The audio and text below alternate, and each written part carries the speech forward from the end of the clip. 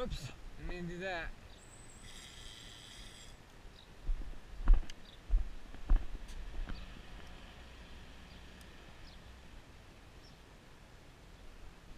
I gotta shorten that up some.